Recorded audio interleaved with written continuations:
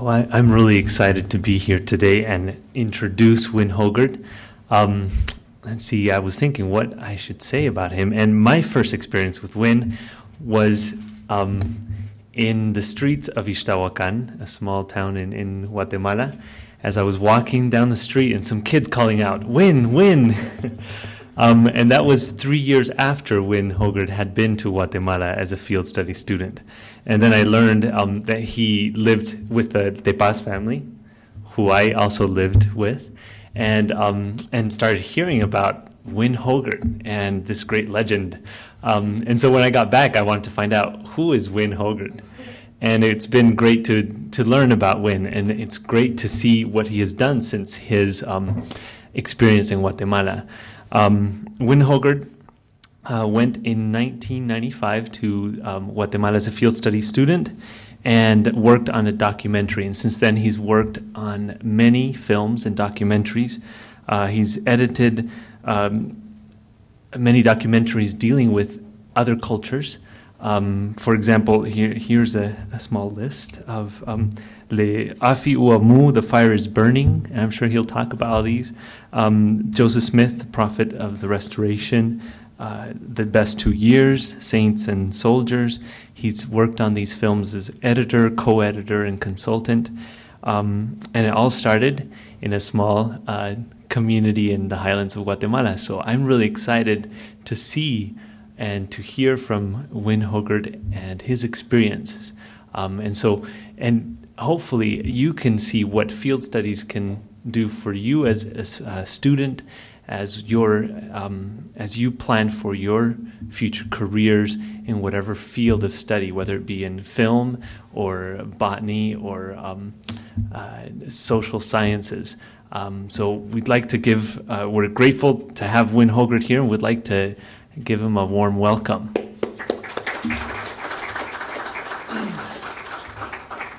Thanks, Malcolm. Uh, my first question is: Did they ever ask you a nut litzy? Do the dog. Um,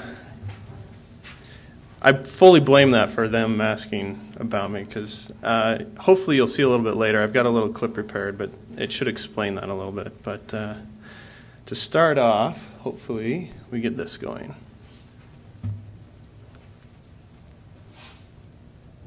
Tomorrow morning at 9 o'clock, General Donovan and his brigade will take these men to the town square in Far West will shoot them!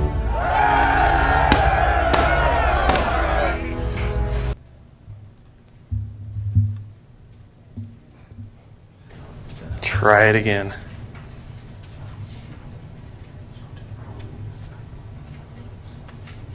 Tomorrow morning at 9 o'clock, General Donovan and his brigade will take these men to the town square in Far West, and he will shoot them! Don't be afraid, Joseph. God will take care of you. Ask, and you shall receive. Knock, and it shall be opened unto you. I couldn't let you come 4,000 miles alone. You've never even met this man. I don't need to meet him. To know he's a prophet. I don't blame anyone for not believing my history. If I had not experienced what I have, I would not believe it myself. Hey, Joseph! You seen any visions lately? It's time we got rid of these Mormons for good.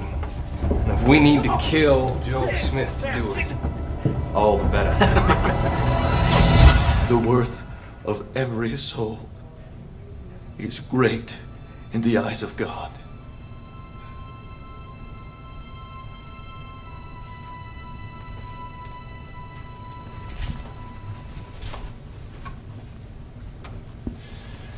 Right. Sorry, excuse me. Um, I just started off with that because it's one of the one of the things that I've worked on that I feel the most proud of. The it's my proudest moment, I guess you could say. Um,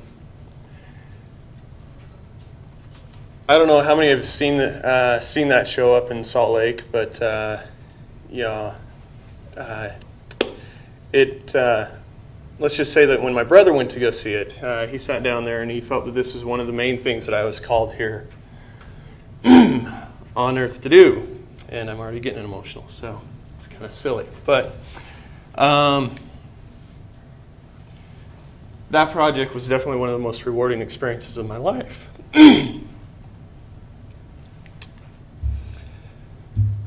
and uh, as Malcolm said, mostly it all started in a tiny little village down in Guatemala. And uh,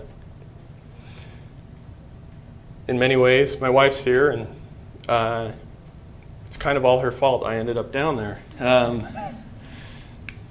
it, it's kind of a, it's kind of a long story, but uh, for those of you who know, who know, Dr. Hawkins, Dr. John Hawkins over in the anthropology department, who usually goes down on the uh, the Guatemala trip, he uh, his daughter ended up being uh, in, with my wife on her mission down there in Guatemala. They ended up being roommates later, and so when I was dating my wife, I got to know Claire. And uh, at a mission reunion, Dr. Hawkins cornered me and said, "Now you're a film student, right?" "Yeah." Want to do your senior project down in Guatemala? And up until that point, I really, you know, I had planned on being an editor. Uh, that's really all I wanted to be, and hadn't really ever thought of uh, going off and doing my own little documentary. And uh, so, you know, initially I kind of pushed it off and didn't really think it would, you know, I'd go and do it. But time went on, and uh, one night I told my wife, you know, that sounds like it might be kind of fun. What do you think? And so I ended up going down and uh, and, and, doing that. But uh, uh, I'll talk a little bit more about that later. But uh, um, just a little bit more, a little bit more about myself. I was born and raised in Utah, up in North Salt Lake area, Bountiful. Um, I have five brothers and sisters, so there's six of us running around. And uh, you know, went to high school up there. Actually, graduated with a uh, an acting scholarship. So I've kind of wanted to do the entertaining thing for a while, but uh, uh, that was up to Utah State and decided to come down here to, to BYU and started out in communications and then changed over to film eventually. And I have not regretted it ever since. Um, and uh, you know, while I was here at BYU, like I said, met my wife. We now have four little youngins running around and uh, tormenting the neighbors and whatnot. But uh, uh, we still live here in Provo, and and uh, I guess we're having a good time, as near as I can tell. But uh, um, as the little poster says, now I work full time over at the LDS Motion Picture Studio. I've worked uh, many years as a freelance editor, and that's when I was able to do all these, uh, you know, silly, obnoxious Mormon films that have come out. And uh, hopefully, some people get a chuck, chuckle out of them here and there. But uh, um, as for field studies, so I ended up down in Guatemala, and uh, honestly, when I first went down, I really, you know, that was the first year, and we had no idea what we were getting into. Uh, Dr. Hawkins had been down before, but he's mostly stayed in a, another part of Guatemala. Um, and I'm not sure in the details on how he decided on these two villages to stay in. For those who don't know, there's two villages that they usually stay in, one called Nahuala and the other one Santa Catarina Ixtahuacan. And that's where I ended up staying, and uh, I'm very happy that's where I stayed. It was a much smaller town, and uh, took a half hour car ride and over dirt road to get there. So, but uh, um, but before we get a little bit more into that, uh, I just wanted to show you another. There's a show that I worked on called uh, "In the Presence of Healers." Uh, I don't know if any of you are familiar with Steve Olpin. He graduated from BYU a few years before I did, and uh, lately he's gotten more into bike movies and stuff like that. But uh, early on, he did a really a lot of really good documentaries, and this is one about uh, a professor named Paul Cox who used to be here at the, the university. Uh, he calls himself an ethnobotanist, and uh, first time I heard that, I thought that was kind of bizarre. But he studies cultures through the plants, and uh, I'll just play a little clip here of a show that we did from there because I feel it it has a lot of good little information. Uh, on what you do on a field study. Oh, that's the wrong one. Good thing it didn't go. There we go. Maybe.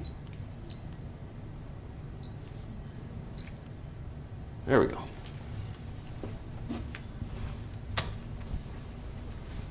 This is a rainforest here. Occasionally it rains in rainforests. Um, and sometimes people, when they come into a rainforest, they get very upset when it starts raining. I mean, one of the great things about the natural world is you can't control it. You don't know what's going to happen. You might even get wet. I think if you really want to understand plants, you've got to be like a plant. You've got to get down in the mud and look up at the canopy of the forest. You've got to imagine what it's like to be a little seed just pushing your shoot up. Being an ethnobotanist is like being a cross between an anthropologist and a botanist. Ethno means the study of indigenous people. Botany is the study of plants, and you've got to be able as an ethnobotanist to understand both. We have tried through our technology to create these cocoons around us, com- completely homogenize our environment. And coming and confronting the natural world forces us to jettison that comfort zone. What did my colleagues think when I started hanging out with witch doctors? I'm about like what they think if they saw me using fern spectacles. Uh, they thought it was completely crazy. Uh, word went around Cox is taking a sabbatical and he's living with witch doctors. I think sometimes we need to get out and get wet and to get cold, to feel a little bit different than we ordinarily feel because there's just that possibility. We might see the world in just a slightly different way. Sometimes when you have a raindrop hit you in the eye, it just might alter your vision.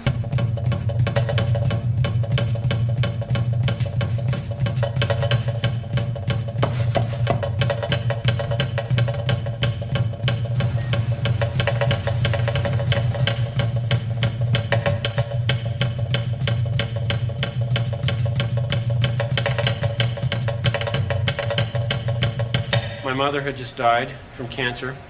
I got to watch her die, and uh, although she was very brave and struggled very sternly, it made me really wonder what, what can I do to help human health? What can I do to do something that uh, would mean something for medicine?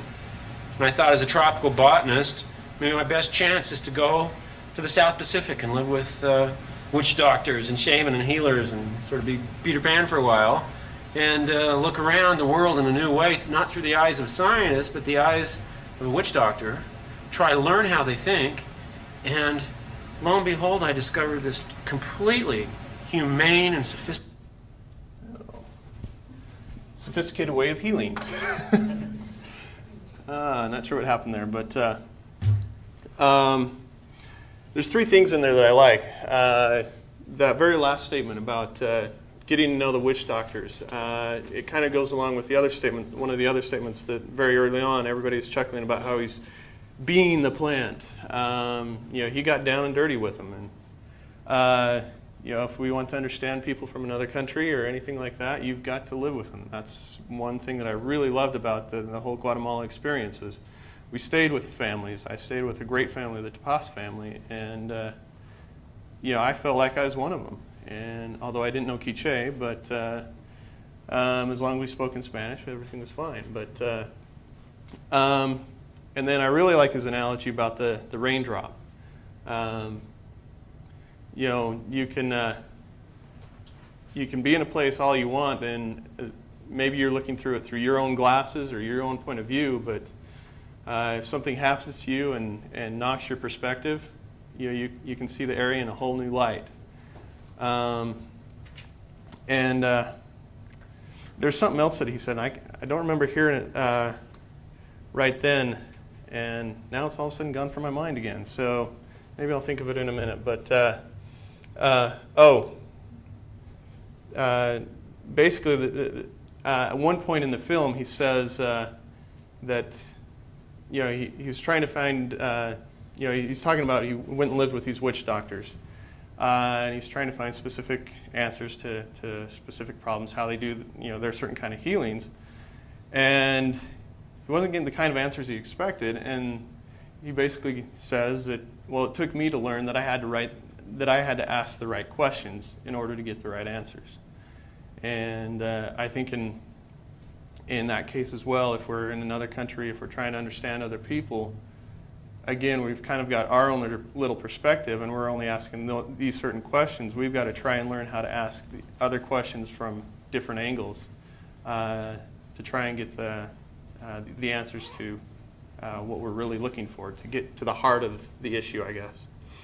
Um, so ask the right questions. Um, now, I titled my thing "The Importance of Story."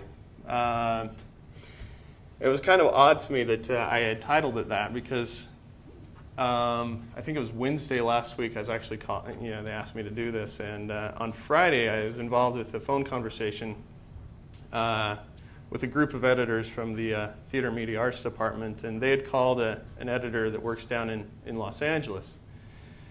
Uh, right now, he's working on a uh, reality show. Actually, no, he's working on a, uh, a telenovela. Uh, it, I actually saw it televised uh, on, or a commercial for it on Channel 14 the other night. And I've forgotten the name of it now, but uh, anyway, he's basically a supervising editor, and he's been working since the early 80s as an editor down there. And he just, time and time again, he brought up the importance of sticking with the story. Uh, you can throw in all the effects that you want into a film or a TV show or, or a documentary, but if it doesn't promote the story, if it doesn't help it go forward, then it's not really doing what it should. Uh, specifically, he was talking, you know, since he's supervising all the other editors on this show, he said that a lot of them have come from reality TV uh, down there in LA. And uh, yeah, I was thinking, well, in a way, that I guess that's kind of a field study, but uh, reality TV isn't that reality. Uh, just as a quick side note on that, I have a friend that uh, works down in LA, and uh, he has a he knew a guy that worked as a cameraman on the Amazon Survivor, and he took along his own little mini DV camera and did some uh, filming behind the scenes and whatnot, and uh, mostly of the Amazon because I guess he wasn't allowed to to do anything of the show, but and he asked my friend Rob to make a dub of it, and uh, you know this mini DV tape so he could watch it and whatnot. And um, my friend Rob said that while he's doing the dub, every now and then he'd hear the, the phrase, "Okay, can we get the talent back to one?" Which means, "Okay, let's get him back and let's do it again." So yeah, it's not really that reality. It's all kind of canned, but uh, anyway. Um, the importance of story. Uh, you know, everything, it, and now I'm specifically talking about films, and so I don't know how many of you are interested in doing films. Malcolm said some of you are interested in going down to Guatemala. Some of you might be doing a film down there, but uh, uh, and to be honest with you, I've never written a paper, uh, an ethnographic paper, or anything like that. But the closest I got was uh, uh, this film I did. But uh, you know, when you're dealing with a film, you, you, need to stick to the story. If you vary at all, people can get bored. They'll change the channel. And let's see, he, he mentioned three things. He said, know your film. Uh, in that sense, he meant read your, read your script, know what it's supposed to be. I think in a documentary sense, that would be know your topic, know exactly what you're trying to talk, you know, what you're trying to tell people. Uh, in my case, when I went down to Guatemala, like I said, we really had no idea what we are getting into. We, I had a few ideas of some topics that we do, like, uh, oh, uh, Dr. Hawkins said Nahuala had a nice factory of mano y metates, the, the corn grinding things, uh, nearby, and suggested I might do something on that. And I can't remember a few of the other suggestions that he had, but I had a list of things to do. And, uh, you know, went down there and as soon as I got down there, I realized most of those ideas were not going to happen. Uh, ended up sitting around for a while. Well, not a while. Um, we, we, we, got to Santa Catarina then, and uh, during the, the, our first week there, there's three big things about you know problems with deforestation. Uh, you know, the, the army came to town and confiscated some wood from uh, uh, two big uh, oh, chainsaws. I can't. Or, taladeros. Uh, I can't think of the word in English, but uh, uh, just what'd you say? Lumbermen. Lumbermen, yeah. So, it, and and you say lumber mills, but there it was actually just individual people that would, would supply the, the wood because it wasn't that big of a, you know, they weren't that big of a uh, company or anything like that, but you know, they were starting to make a dent in all the trees around. Um, the one night that kind of drove me crazy was uh, uh, I was in the tuch, which is a uh, sweat bath, and uh, you know I was having my nightly bath, and apparently while I was in there, the, the town bell started ringing, and everybody everybody started congregating around the, the church, and uh, uh, apparently there's a big to do because there's a big truck trying to leave town in the middle of the night. Well, not in the middle of the night, but during the dark part of the night or evening, uh, with a huge load of wood, and everybody got mad. Some fists were flying, and uh, anyway, and I missed that, and nobody bothered to come get me with the camera, and so I missed that too. But uh, uh, and then uh, apparently somebody decided to sell their little chunk of land full of uh, trees to somebody from the outside that they were going to come in and start chopping down trees. And townspeople heard about this. They all hopped on a bus and ran off to, to stop them. And well, we were having our tourist day somewhere else that day, so I missed that one too. But anyway, all that happened in one week. And uh, so I kind of took that as my clue. Uh, hurried and dug in on that and, uh, and, and, started uh, shooting stuff about deforestation. And it was very surprising how many people had opinions on it. I mean, I talked to anybody, and all of them had some sort of opinion on it, whether they were for it or against it. Um, there were very few people that were kind of indifferent because they all depended on wood, uh, whether it was uh, just for daily cooking or for their livelihood. So, um, anyway, maybe I'll uh, let's uh, I'll show you a little clip from that right now, and uh, let's see, actually go over to that one. If it will go.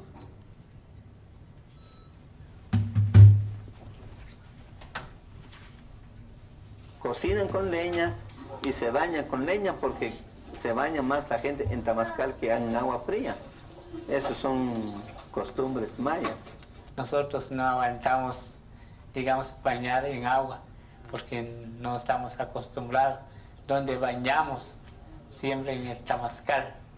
Aquí siempre. Each family builds their own Temascal. Using very little water, this sauna-like structure provides a rich and invigorating bath. For centuries, the Maya have used pieces of resin-filled pine called ocote to transport the flame of the fire. These highly flammable sticks of wood are used to ignite the firewood needed to warm the sweat bath. After about an hour, the sauna is ready for use. Ocote is made by peeling a strip of bark off of a pine tree. As it sits for the next months, the tree's sap slowly flows into the exposed area, causing it to turn red.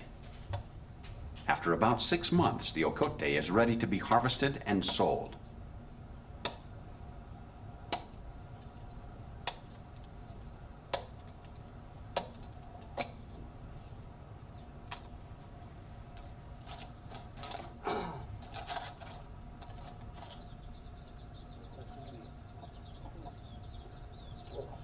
These small bundles of ocote will sell for about three cents a Ocote and other sap products also hold a more religious meaning. These bundles of copal, candles, pom, and incense are made for use during a Mayan ceremony. A recent revival of traditional Mayan beliefs and customs has brought about an increase in these rites and ceremonies. Many Mayan altars and almost as many Mayan priests can be found throughout the region. The rocks surrounding such areas are often burnt black by the many rituals of fire performed in their presence.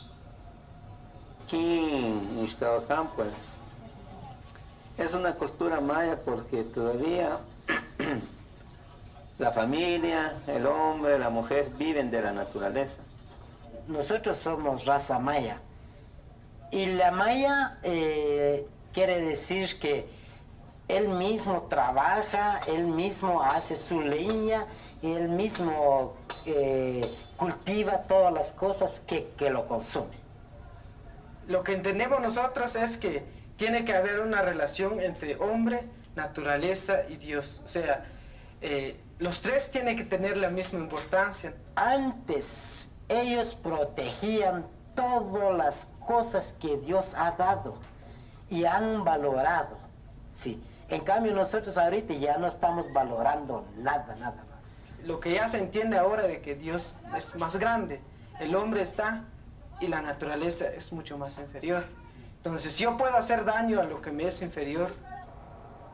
Outside forces combined with the town's growing population have created an environment unknown to previous generations.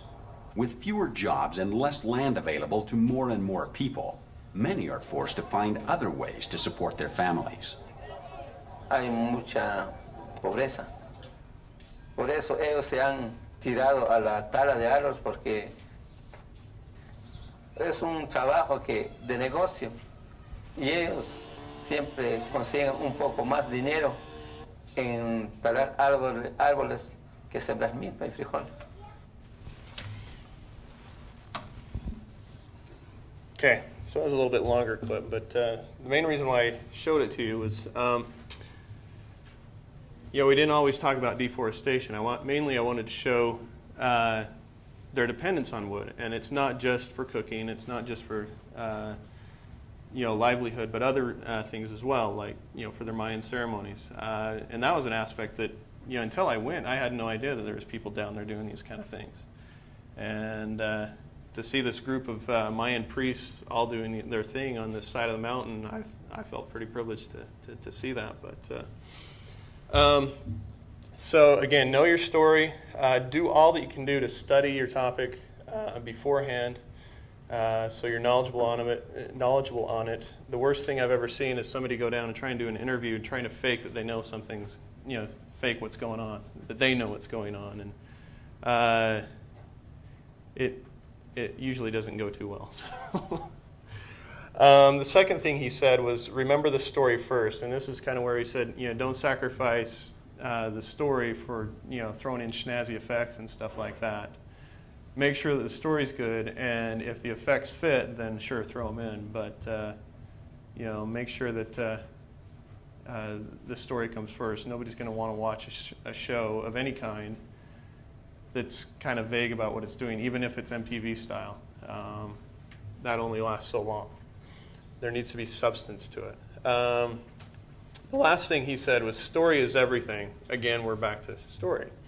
Uh, I took that to mean as, uh, as to mean don't get sidetracked on other topics. Uh, yes, you can kind of slightly go off for a minute or two or, or a few seconds. Just um, I've got a few examples later on that we may or may not have time to get to, but where you, you, you stay on topic and you sneak these other facts in just as uh, facts. Did you have a question? Could you just define what you mean by story? Do you have a definition of story that you share with us? Uh, what do I mean by story? Uh, that would mean that would uh, depend on obviously what we're talking about. Uh, whether it's a documentary, in my case, in the in the Quiche film that I did, I would say it's you know the, the story about deforestation and how it affects those people. You know, in some of these other shows, like the Joseph movie, obviously it's dealing about Joseph. Uh, that was kind of a rough go of it because there is so much, and we are given this little time uh, to do it. We actually had to cut. Initially, we submitted a an 80 minute, 82 minute uh, version for approval, and uh, they said cut 15 minutes out of it, and that's hard.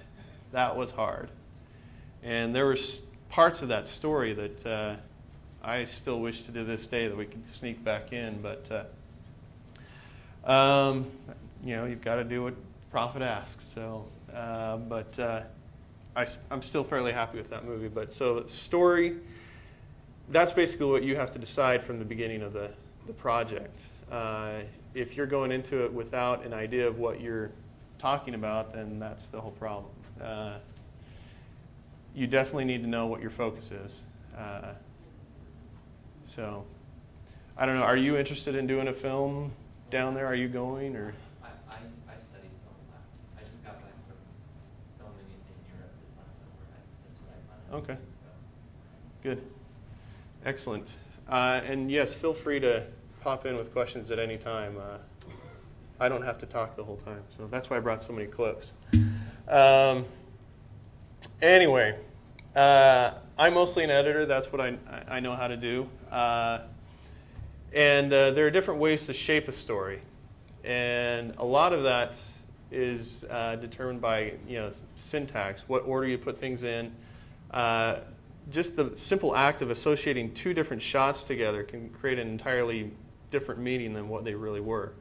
Uh, when we're talking about documentary films, I think you need to be careful of that. Uh, that you're not implying that these people mean this when they really mean this. Um, and way back in the, uh, I, I never saw a definite date on this, but there's an experiment made by, uh, or done by two uh, Russian filmmakers, uh, Lev Kuleshov and uh, I forget the first name, but Pudovkin. And uh, they did a little experiment about, uh, you know, they basically had a whole bunch of stock footage. And they stuck some of the shots together just to, uh, just to kind of prove that just by sticking two different shots together, it can create an entirely different meaning. And uh, so I've got a little example of that here. So hold on a second.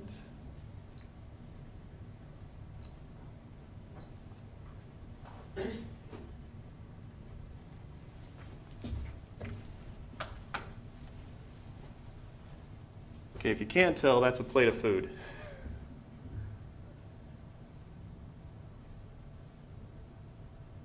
And that was their actor. Um, oh, I wasn't supposed to go into this, but oh well.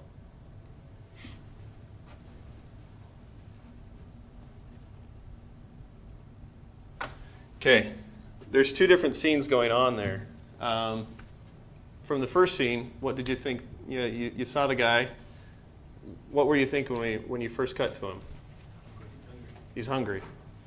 Now, the next one, you see a woman inside of a coffin, and then you cut to him. What do you think? He's mourning.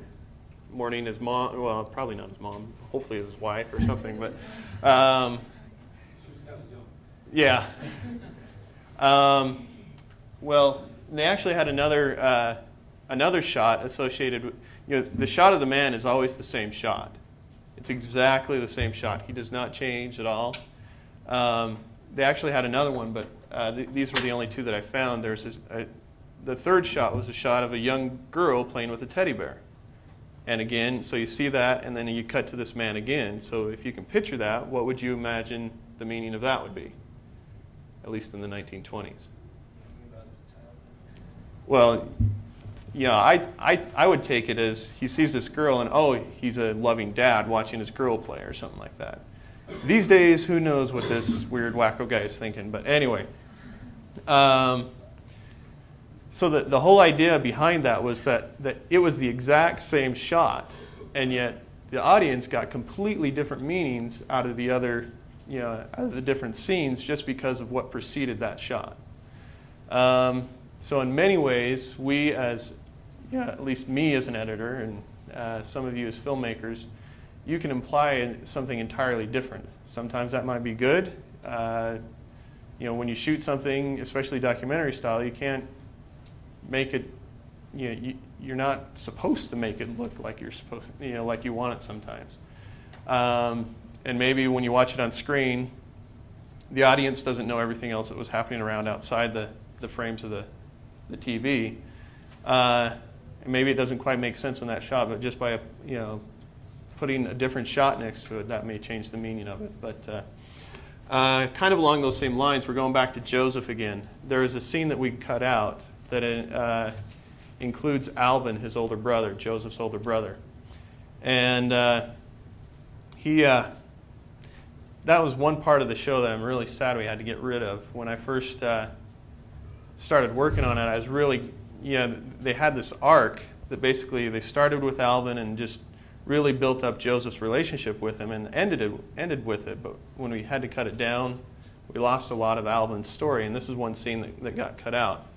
Uh, this is one of the shows that I was actually a co-editor on. There's another guy over at the Motion Picture Studio whose name is Cherry Stainer. Uh, that he was he was basically the lead editor, and I was helping him uh, on other things. Uh, I was I did half the scenes, and he'd do the other half, but he'd do the final compilation. But uh, in this, oh, and Casey, this is the DVD, the, the other DVD. So I'll talk a few more minutes while that gets swapped out.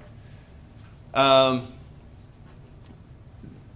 this, uh, so this scene basically has to do with Alvin, and so he cut this scene. I ended up cutting this scene, and I honestly can't remember which version it is, but uh, we're going to see two different versions of the same scene.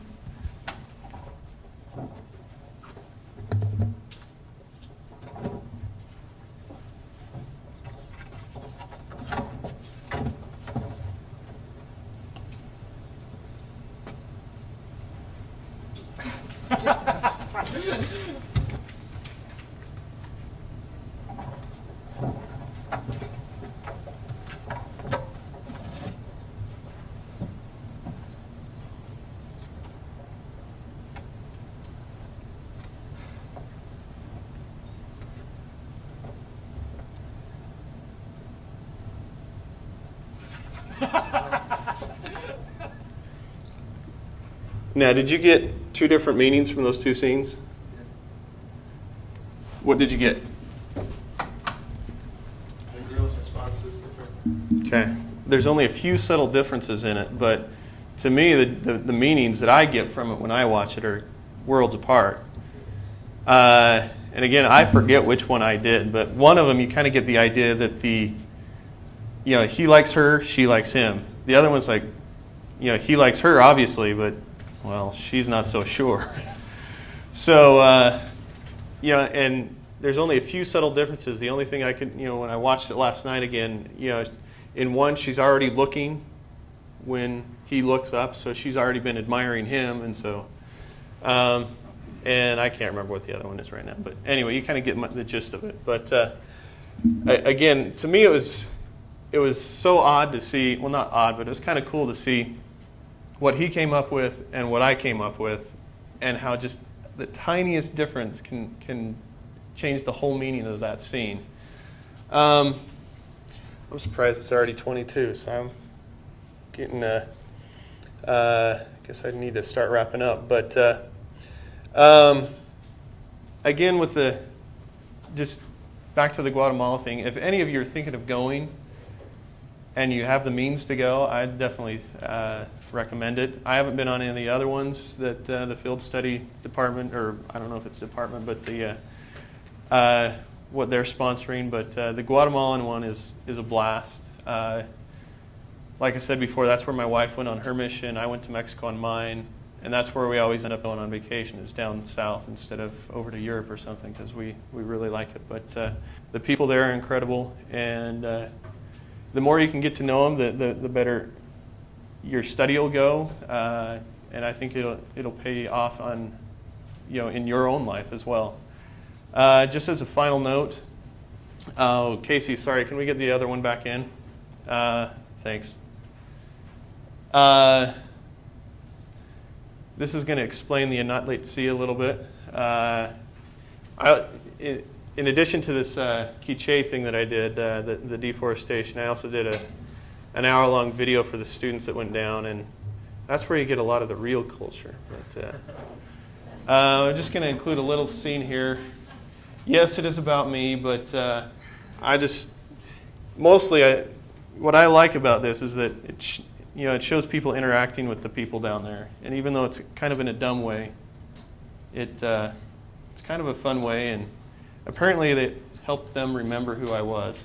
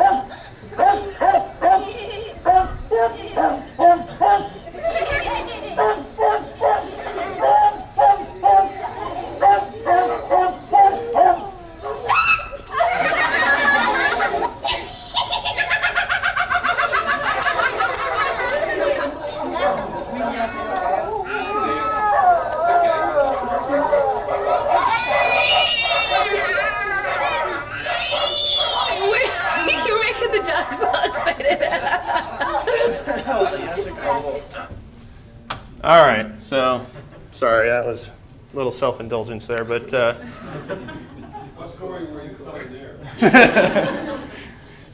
just how to have fun in, in uh, Guatemala, I guess. But, uh, um, yeah, and that's a dumb talent I've had for quite a while is barking like a dog, and it's amazing what that'll do for you. So that's my other hint for you is learn how to make dumb animal noises, and you'll make many friends. But uh, um, let's see, are there any questions?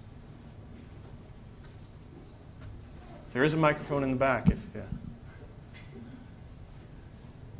Anything you want to know about uh, you know some of the fe- feature films I've worked on? Uh, Are you working on anything? Hold on a second. Oh. Are you working on anything currently that you'd like to talk about? Um, well, over at the Motion Picture Studio, we just got done doing a series of Old Testament movies that will be released on DVD next year. I think Seminary is going to have first shot at them. Um, but uh, it, the idea is that uh, eventually everybody will have a shot at them. But what they're doing is they're, they're combining all the old Old Testament stuff, uh, re- renovating some of it. Uh, you know, and they did shoot five new shows, but the idea is they're going to have these DVDs that you can get that basically covers a, a scripture block. You go into that, there won't be just a video, but there'll be moving text, stuff like that. Just a whole bunch of other things other than videos as well, but uh, you know, all about the one scripture block. Uh, you know, their ideas that you can use in Sunday school, family home evening, uh, personal entertainment on Tuesday night, I guess. I, anyway. Um, outside projects, uh, I worked on a, uh, a film that should be coming out towards the end of the year called The, the Dance. Um, I, I really didn't do too much on that, but uh, did do a little bit. Uh, other than that, don't have anything on the slate on the outside, so no. But DI spots, but uh, any other questions? Yeah, Malcolm. Hold on a minute.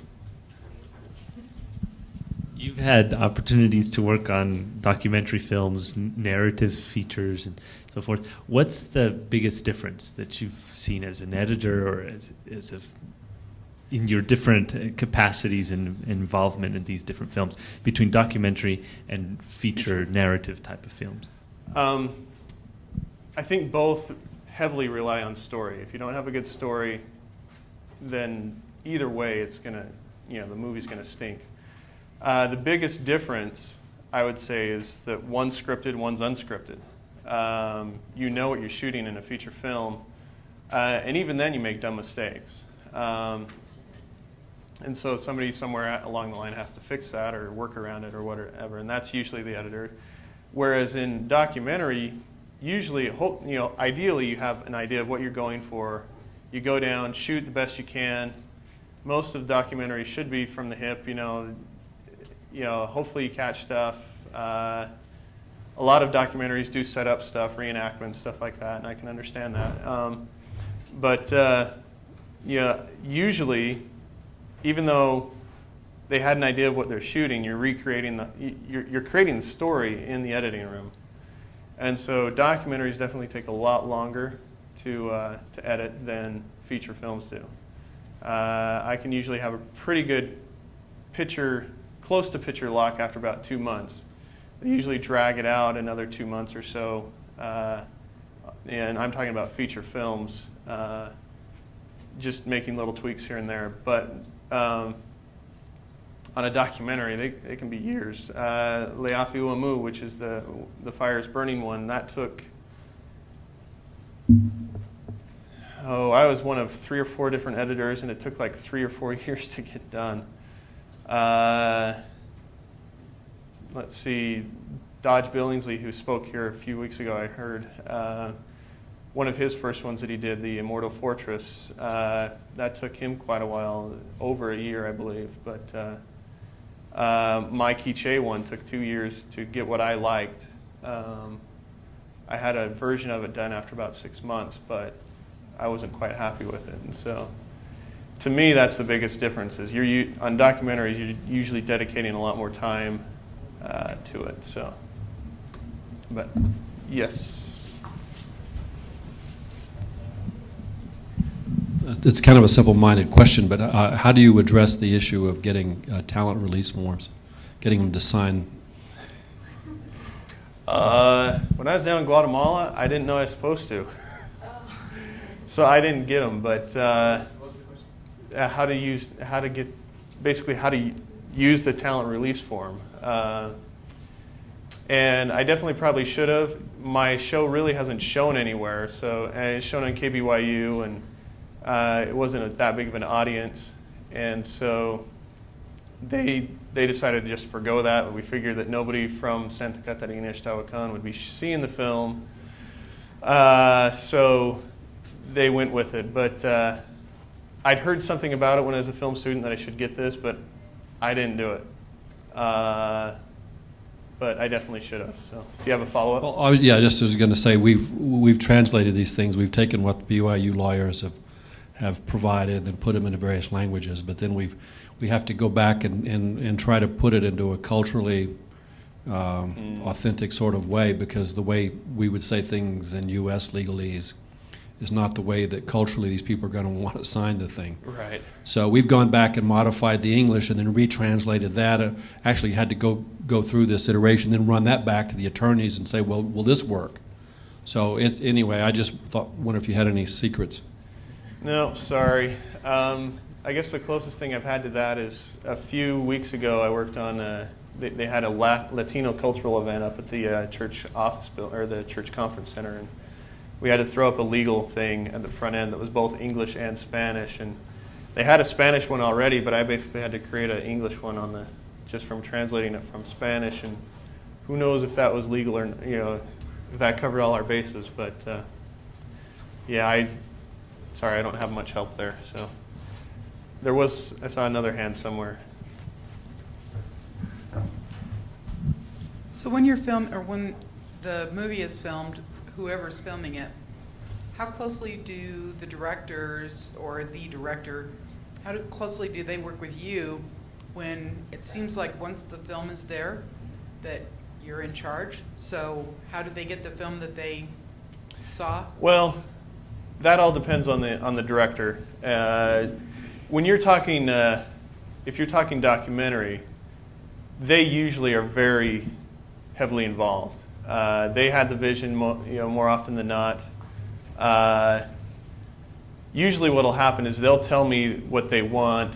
They'll leave me alone. I'll do what I think I can do, and then uh, um, after that, then they'll come back, look at it. Any changes that they want done, I'll do those again. Uh, it, it all depends on the director and how hands-on he is. I have had some directors that are there the whole time saying, "Now let's do this, let's do this." Um, not necessarily telling me what to do, but what they want to try and do, and then I'll try and do it and see if we can make it happen. Uh, feature films, since it's all scripted and uh, whatnot, I've been given a lot more freedom during those uh, shows because they can leave me with the script and a few notes. They'll come back, watch it for an hour or two, and say, "Okay, now do this, this, this, this," and then they'll take off again. So, but usually it just depends on the director. So, I apologize if you mentioned this uh, in the beginning. I was a little bit late, but um, what size crew did you have when you shot in Guatemala? it was me. And, Um, and, and were you pleased with with what you came up with, just you? I, I was quite happy. Uh, this was back even before they had mini DV, so I shot on high eight. Um, and uh, for high eight, I thought I got pretty good looking stuff. Um, you know, and, and on the interviews, it was always I just set up the camera, I sat in front of the camera. So there were a few uh, mishaps that I had there because, like, one, I thought I had the camera going, but I guess I didn't hit the button. So I did this whole 40 minute interview and I was like, oh no. had to go back and redo it. But uh, yeah, um, a lot of the shots were, were kind of on the run. And I, I'd heard this before that, oh, you, you think you can hold steady, but, you know, and I thought, well, I can do it. And it- yeah, even though you, you- you're, you're kind of up against a wall or something, even then, you're, you still got some slight movement. But, uh, and the weird thing about the camera I had, it, it, it had an anti jitter or whatever it's called, uh, but it was in the early stages of that development. And so, in many cases, to me, it, it, it did pretty good when you did big jitters, but if you're just small little jitters, it, it made it even worse. And so, but uh, for the most part, I was pretty happy. Uh, most of the people did their interviews good and they stayed in frame, and it was just a few little mishaps here and there. Uh, I think one I didn't get audio because the audio plug wasn't plugged all the way in. I got video, but so um, it would have been nice to have somebody else there, but that way I could just run off. The coolest thing about it is I, I hiked around all over the place. Uh, you know, and, and you're out in the middle of this forest. It was the coolest. That was probably the coolest part about it for me, uh, besides the people. But let's see, a few other questions. If you had to, if you could take and do it again, what equipment would you have taken with you, and how, what would you have done to make the process easier? You probably didn't have much electricity and things like that. And lighting would have been difficult. How would you have changed that? Yeah. I did not take any lights down, so I had to just basically try and figure out how to do it with existing lights. I didn't even bring a bounce board.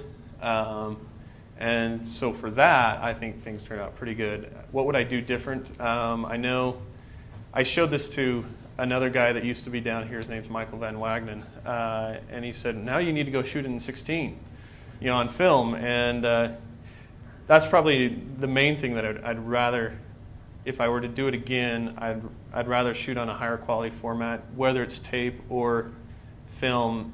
I'm a little bit hesitant to use film on a documentary just because now there HD tape is available. It looks pretty good.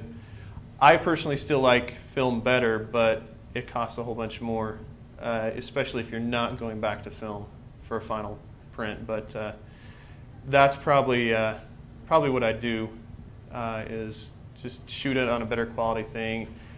Yeah, this in that case, this would be kind of a research video, and then I'd go on and do the actual thing. But uh, uh, probably ideally, I'd get uh, other interviews from uh, people outside uh, the town, you know, more authoritative figures and stuff. But uh, you know, I just it was basically people inside the town, and it was their opinion of it. So anyway, did you have another question? Yeah, I think we have one last one. I was gonna I was gonna ask if you'd prefer a tripod to like a monopod, or and would you go? Are you talking like real HD or like the fake Sony HD? I mean, because the real HD cameras are. I mean, Yeah. the Panasonics are pretty expensive, and so what would you really? I'm Um, more specific. In, in something like this, I'd probably, um, since the the real HD cameras are so big, you're pretty conspicuous. For me, since what I had was really consumer level, kind of, sort of, uh, just a step above it, uh, you know, but it was that size. I really got to go places, and I was pretty inconspicuous. Um, and so, probably just for that alone, I'd probably try and use one of these other formats. Uh, HDV seems to be doing pretty good. Uh, the hardest part there is finding some something to edit it on afterwards. You need to make sure. You know, I, I just got asked to work on this uh, or help out on this documentary that some people at BYU are doing, and they took me to lunch and said, you know, give us some hints. What should we do before we go shoot? And I know one of the things I told them is make sure that the camera that you use will work on the editing software you want to use. They didn't. So they get back and they're trying to digitize stuff, and it's like, it's not working. Well, yeah, it's not supported yet. Fortunately for them, they just hit, you know, Final Cut, it was Final Cut Pro that they wanted to use. Final Cut Pro just came out with an update that now uses that camera. Otherwise, they would have been an up, up a nice little stream without hands even. But um, uh, so uh, I'd probably say the HD, the, the, the kind of HDV and at least in something like this. It all depends on what you're doing, uh, project to project. In this case, I would definitely, you know, if I were to go back and do this again, I'd do one of the HDVs. Now, what was the other half of the question? Tripod, monopod. Um, I've never used a monopod, but it's better than trying to do it handheld. Um, the one good thing about a monopod, yeah, I'd only use those for you know things that you're trying to do standing up. Uh, definitely for an interview, to use the tripod. So if you can, I'd say take both. Uh, you know, I, I had a little. I didn't even have a uh, a floating head uh, tripod, and so all my tilts and stuff were. I only used a few of them. Let's just say that. but uh, How many hours of footage did you take in what they went? I shot about 22 hours of footage. Now, some of that, like I said, I, I did a, a memory video for some of the other students, and so some of that was used expressively for that. Actual footage for the, the thing, for the actual video was probably about 11 hours, I'd say. And this is going on 12, or what, eight years of memory, so. But uh, that's about how much.